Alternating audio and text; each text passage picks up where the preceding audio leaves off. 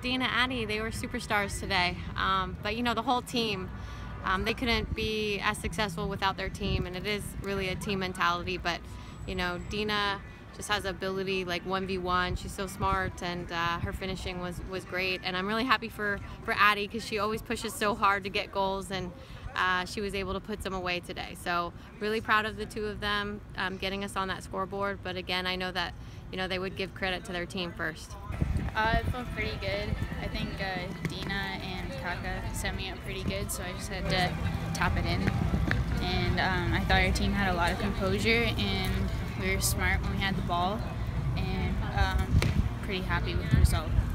I'm very happy about to score today two goals, um, but I think it was a nice teamwork today and I'm very proud of my team. We did a good, very, very good job and aim our goals. Our goals was to create very nice uh, chances and we keep it up.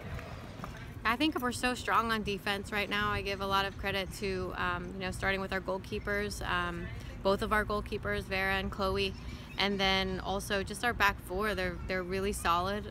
I think it's good to have the win under our belt, and um, we just have to focus on our game on Thursday now.